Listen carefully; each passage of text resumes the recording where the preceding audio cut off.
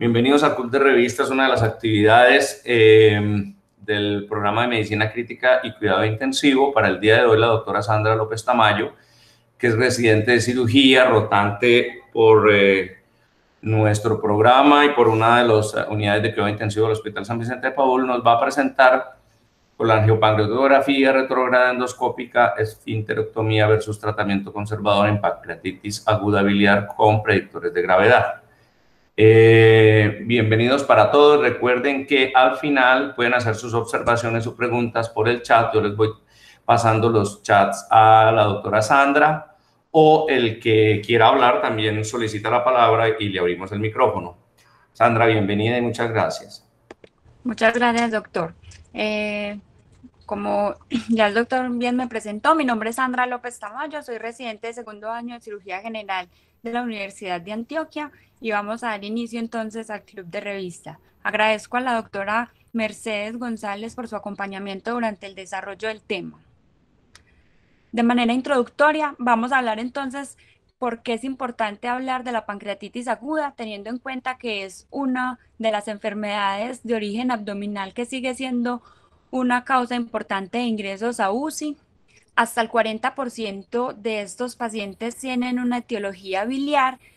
y esto ha condicionado que su incidencia vaya en aumento, ya que la obesidad ha aumentado y con esto el aumento de las colecistopatías. Si bien hasta el 80% de la mayoría de los pacientes con pancreatitis aguda tienen un curso leve de su enfermedad, hasta el 20% pueden tener un desarrollo de una enfermedad grave con una mortalidad que puede ir hasta el 35%. La mayoría de las guías internacionales para el tratamiento de las pancreatitis la clasifican como leve cuando no tiene falla orgánica concomitante moderada cuando tiene, cursa con exacerbación de las comorbilidades de los pacientes, complicaciones locales o falla de órgano transitoria, es decir, que resuelve antes de las 48 horas de presentarse, y grave cuando la falla de órgano persiste más allá de las 48 horas.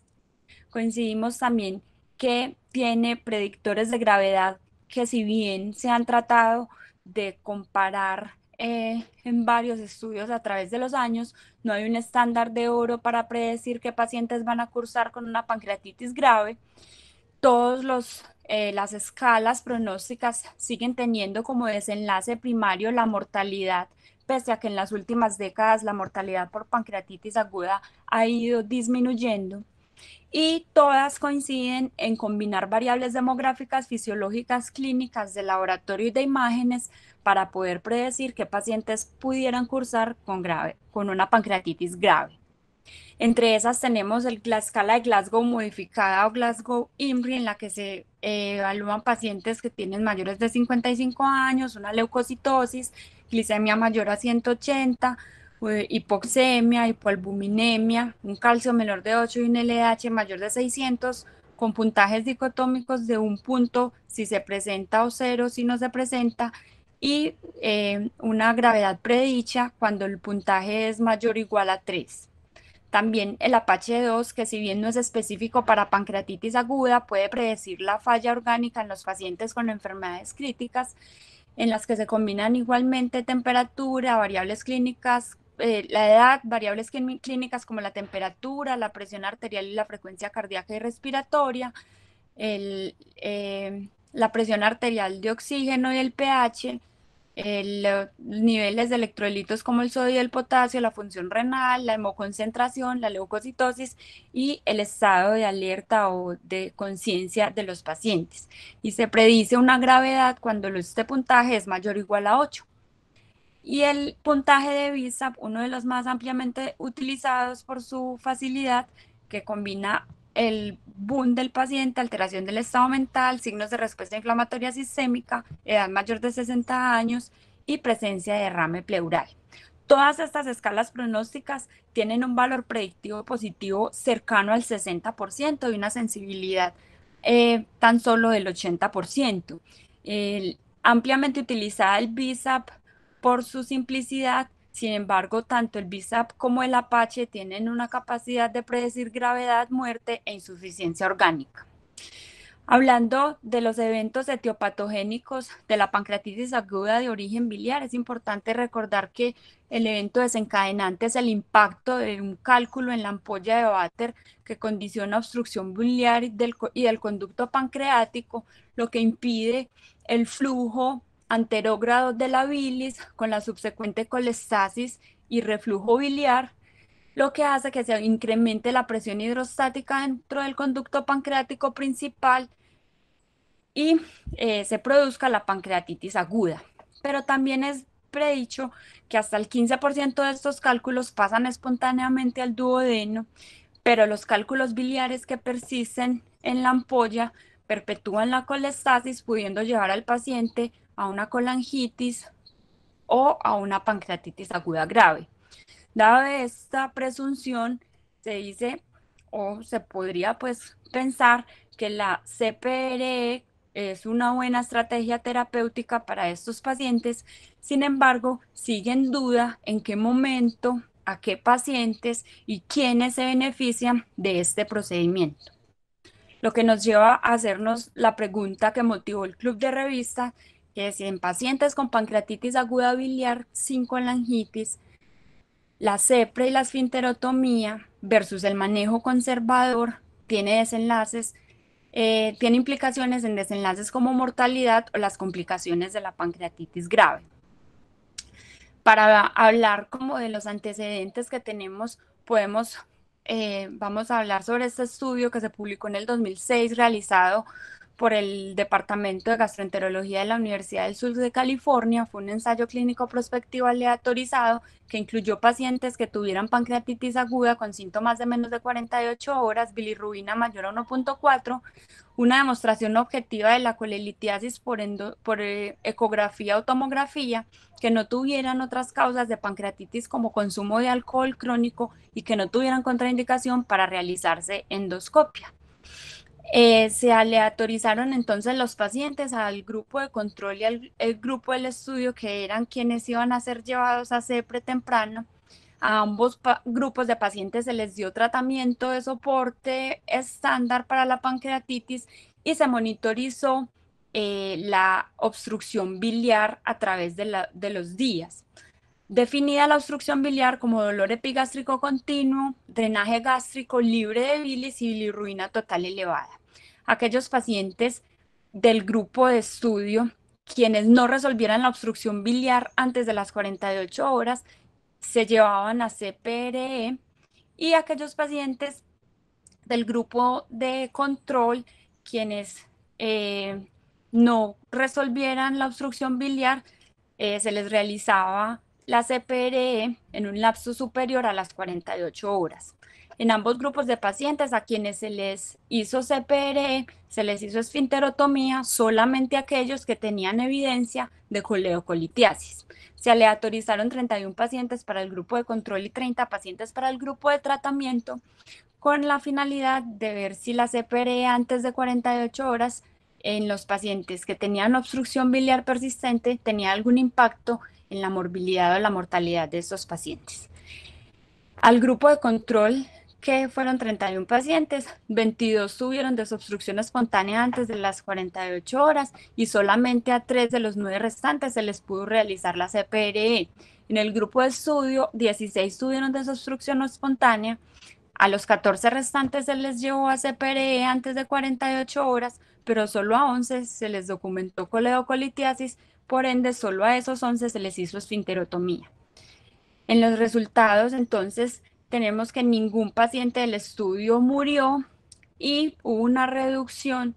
entre las complicaciones inmediatas de un 26 a un 3% y de la morbilidad en general del 29 al 7% en los pacientes que fueron llevados a CPRE antes de las 48 horas lo que los llevó a concluir que en pacientes con pancreatitis y obstrucción biliar de más de, 24 horas, la CEPRE y la esfinterotomía disminuían las complicaciones tempranas de la pancreatitis. Más adelante, en el 2009, en los Países Bajos, se hizo un estudio observacional prospectivo multicéntrico, tomando en cuenta la base de datos del estudio ProPatria, que era un estudio de 296 pacientes a los que se les estudió eh, eh, la pancreatitis aguda y la disminución de las infecciones con probióticos, estos pacientes, para eh, em,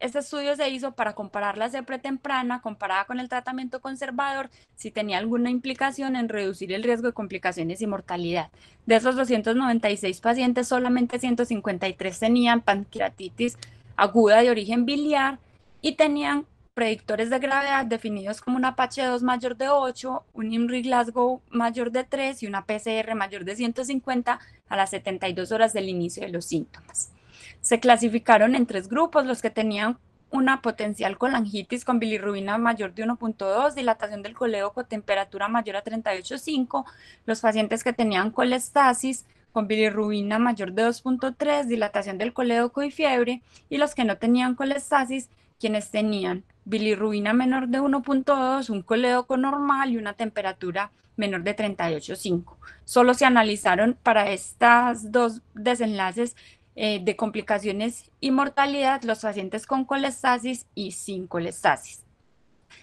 Tenemos entonces que esos 153 pacientes, al 53% se les realizó CPRE y al 47% fueron llevados a manejo conservador, teniendo como resultado que los pacientes que tenían colestasis se les hizo CPRE al 67%, con una reducción en las complicaciones del 54 al 25%, y un OR de 0.3, intervalo de confianza de 0.13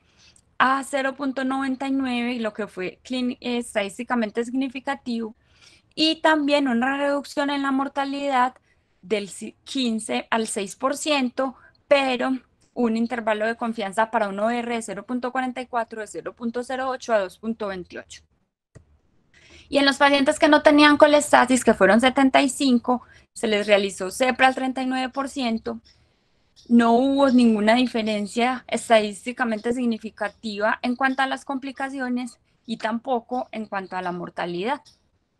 lo que los llevó a concluir que en pacientes con pancreatitis aguda biliar y predictores de gravedad, la CEPRE temprana, antes de 72 horas del inicio de los síntomas, se asociaba a menores complicaciones solo cuando había colestasis. Más adelante, en el 2012, en el grupo en un grupo en Canadá eh, se hizo una revisión sistemática de la literatura con metaanálisis en los que se revisaron siete ensayos clínicos controlados que incluían 757 pacientes para evaluar la efectividad clínica y la seguridad de la CPR temprana rutinaria versus el manejo conservador, con los desenlaces de mortalidad, complicaciones de la pancreatitis o complicaciones de la CPR. Como estos grupos de pacientes eran muy heterogéneos, se hizo análisis por subgrupos con predictores de gravedad, con langitis, obstrucción biliar y tiempo de realización, eh, tiempo de enfermedad hasta la realización de la CPRI.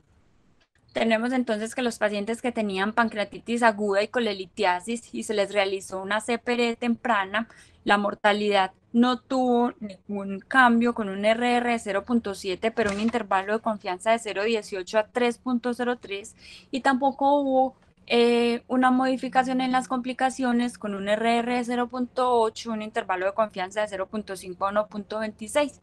Pero en los pacientes con pancreatitis aguda y con langitis, la CEPRE temprana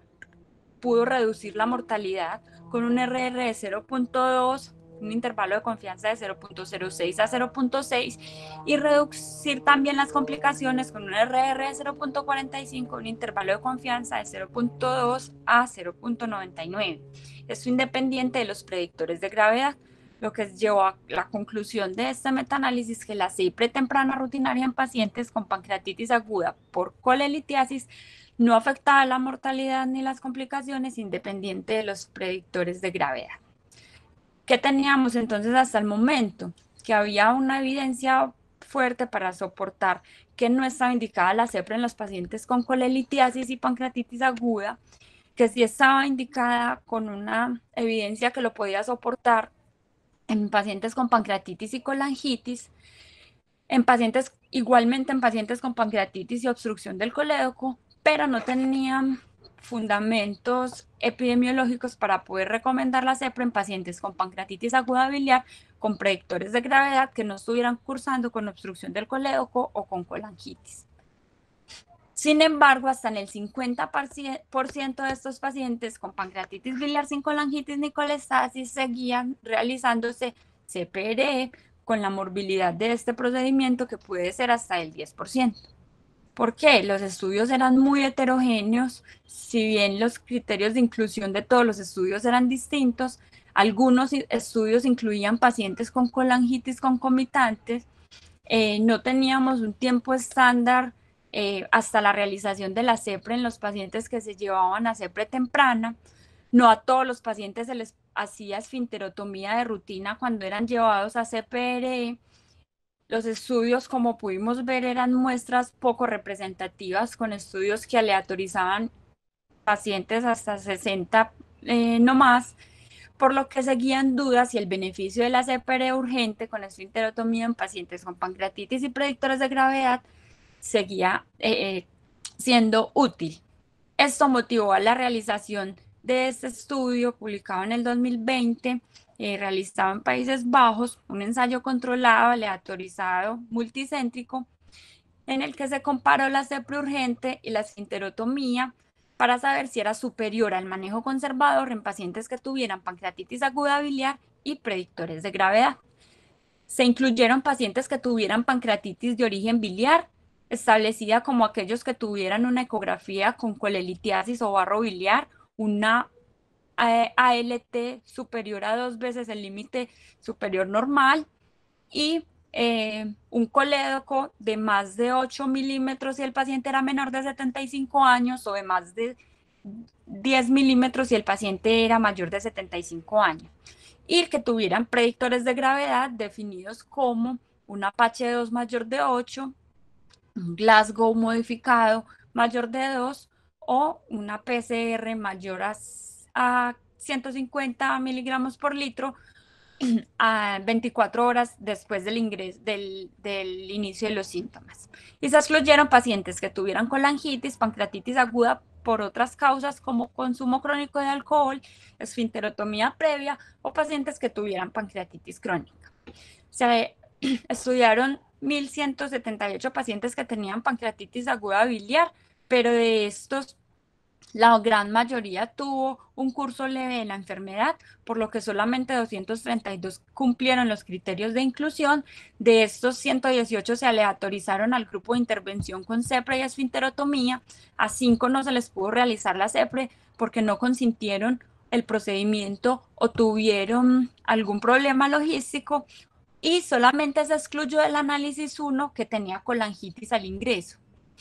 y 114 pacientes se aleatorizaron al tratamiento conservador. Se analizaron solamente 113 de estos porque uno tenía pancreatitis crónica al ingreso.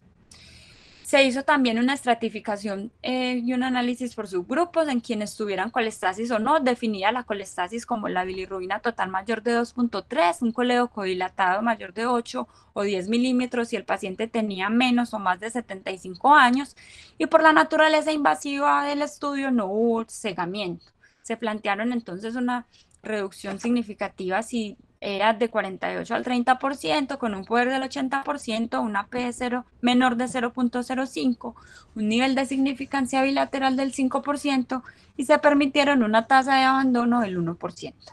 A los pacientes que se, les, que se aleatorizaron al grupo de intervención, se realizó CEPRE antes de las 24 horas del ingreso y antes de 72 horas del inicio de los síntomas. A todos los pacientes que se les podía hacer la CEPRE se les hacía esfinterotomía y si la CEPRE era fallida, los pacientes seguían el tratamiento en el brazo de eh, el tratamiento conservador. Sin embargo, se analizaban por intención de tratar, es decir, se analizaban en el grupo de los que eran llevados a CEPRE temprano. Y al tratamiento conservador se les hacía CEPRE electiva solamente si cursaban o desarrollaban colangitis en la observación si tenían colestasis persistente o litiasis retenida después de superada la pancreatitis aguda y a todos se les realizaba tomografía a los 5 o 7 días después del ingreso para mirar eh, las complicaciones locales. Los desenlaces primarios eran las complicaciones graves o muerte a 6 meses, definidas las complicaciones como insuficiencia orgánica persistente más de 48 horas, necrosis pancreática, bacteriemia colangitis, neumonía o insuficiencia pancreática, fuera endocrina o exocrina. Y desenlaces secundarios como necesidad de UCI, tiempo de estancia hospitalaria, reingresos relacionados a cálculos biliares y los costos de la atención. Los, ambos grupos eran muy comparables al inicio, una edad promedio de 69 71 años en los dos grupos. La mayoría de los, de los pacientes en ambos grupos tenía barro biliar o colelitiasis en la imagen de ingreso. La mayoría, eh, hasta la mitad de los pacientes en ambos grupos tenían colestasis. Y en cuanto a los eh, resultados, tenemos que hubo una disminución de la mortalidad de 44 a 38% en quienes fueron llevados a CEPRE temprana, pero un RR de 0.87 y un intervalo de confianza de 0.6 a 1.18. Hubo también una reducción en la presentación de colangitis en quienes eran llevados a CPR urgente, una reducción del 10 al 2% y una P estadísticamente significativa de 0.01. Y eh, los pacientes que eran llevados a CPR y esfinterotomía, eh, no tuvieron reingresos por pancreatitis aguda de origen biliar, comparado con 10 eh, pacientes del grupo del manejo conservador que sí reingresaron. Sin embargo, estos pacientes cursaron con una pancreatitis leve y no, no se les realizó colecistectomía después del primer episodio de pancreatitis. Eh, cuando, en cuanto a la realización de los procedimientos, los pacientes que fueron aleatorizados al grupo de CPR se les hizo a 112, como ya lo habíamos dicho, un tiempo promedio de 29 horas desde el inicio de los síntomas hasta la realización de la CPRE en el grupo del tratamiento y de 8 días más o menos en los pacientes que se les hizo CEPRE eh, y están en el brazo del tratamiento conservador. Eh, en los pacientes que fueron llevados a CEPRE temprana, solamente al 81% se les pudo hacer canulación del conducto biliar común y esto, eh, entonces, a estos pacientes todos se les hizo esfinterotomía y eh, en el grupo que fueron aleatorizados al, al manejo conservador, la indicación de la CPRE, tasis persistente y colangitis. En ambos grupos, las complicaciones relacionadas con la CPRE fue el 3%. Los costos de la atención por paciente solamente tuvieron un cambio. Perdón, perdón, es Sandrita, perdón. Argemiro, para apagar tu micrófono un momentico, por favor, que es que está interrumpiendo la reunión.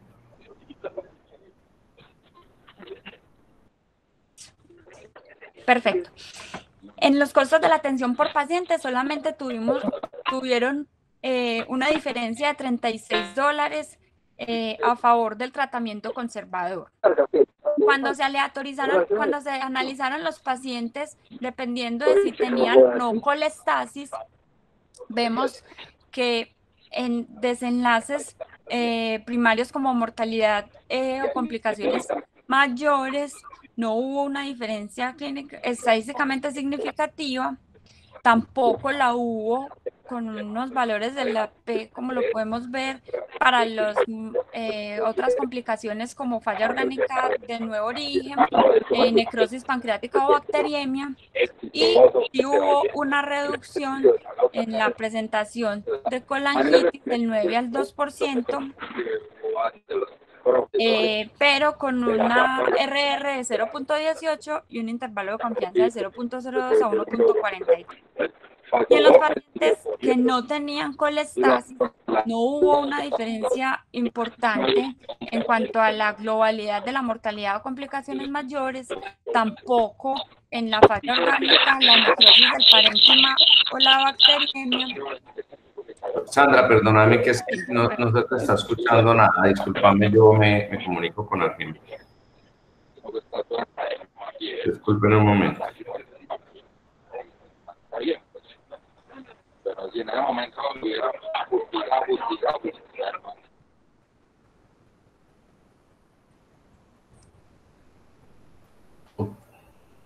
Ok, parece que ya cerró el micrófono. Adelante. Y tampoco una diferencia importante en los pacientes que eh, no tenían colestasis y eran llevados a CPRI. ¿Qué podemos decir entonces hasta el momento? Que ese ha sido el ensayo con más número de pacientes aleatorizados, que en esta ocasión se pudo hacer una escogencia más exquisita de los pacientes, solo se incluyeron pacientes con predictores de gravedad en, su condición de pancreatitis aguda. Sin embargo, hay que tener en cuenta que la sensibilidad de estas puntuaciones pronósticas es tan solo del 80% y por ende algunos de estos pacientes, si así tuvieran predictores de gravedad, iban a cursar con una pancreatitis aguda leve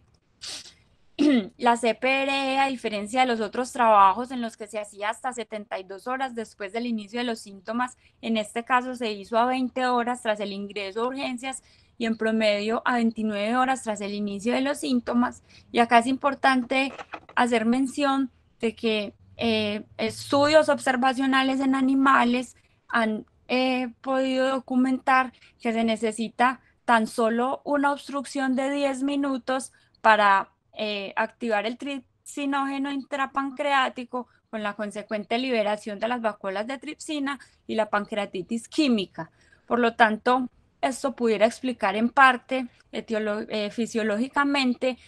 por qué si bien en, estos, en este caso que se hizo la CPRE temprana, no se obtuvo pues una disminución de las complicaciones en estos pacientes. Acá, a diferencia de los otros estudios, a todos los pacientes que fueron llevados a CPR se les hizo esfinterotomía por la implicación de la microlitiasis o el barro biliar en los procesos obstructivos del conducto pancreático y sí hubo mayor, eh, mayor incidencia de colangitis en los pacientes que se les hacía tratamiento conservador, pero esto no tuvo impacto en los desenlaces primarios, que eran las complicaciones graves y la mortalidad. La CEPRE redujo evidentemente el número de reingresos por pancreatitis aguda recurrente por colelitiasis, ya explicada porque estos pacientes eh, que no se les hizo CPR cursaron con una pancreatitis leve y tampoco se les hizo colecistectomía tras el alta de la pancreatitis. Con esto, pues, la conclusión del estudio es que la CPR urgente con esfinterotomía no reduce complicaciones mayores ni mortalidad en pacientes que tienen pancreatitis aguda biliar y predictores de gravedad, comparado con el tratamiento conservador. Y este debe estar indicado, el tratamiento conservador con CEPRE, solo para aquellos pacientes que debuten con una colangitis durante la observación o que tengan una colestasis persistente, para así reducir la cantidad de CEPRE innecesarias y por esto disminuir también la morbilidad de este procedimiento. Vamos a hablar entonces de la lectura crítica del análisis. La asignación, como pudimos ver, sí fue aleatoria. Todos los pacientes se analizaron en el grupo al que fueron aleatorizados,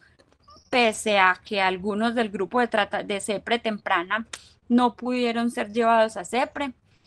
Por la naturaleza invasiva del estudio, eh, no se pudo mantener el cegamiento ni a los pacientes ni a los tratantes. Al comienzo del ensayo, como vimos en la tabla 1, los grupos fueron similares. Eh, no se especifica durante eh, eh, la revisión del artículo si a todos los pacientes cuál fue el tratamiento de soporte que se les hizo. Como ya vimos, eh, no hay un, un, efecto importante en mortalidad o complicaciones mayores, sí en reducción de colangitis y como bien explicamos en los criterios de inclusión, es un estudio ampliamente replicable. Como conclusiones, yo puedo decir que la CEPRE temprana de rutina en pancreatitis aguda biliar con, predictores de gravedad no tiene impacto en las complicaciones o mortalidad, además de que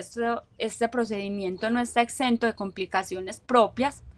y que la CEPRE y la esfinterotomía debe realizarse en pacientes que tengan colestasis persistente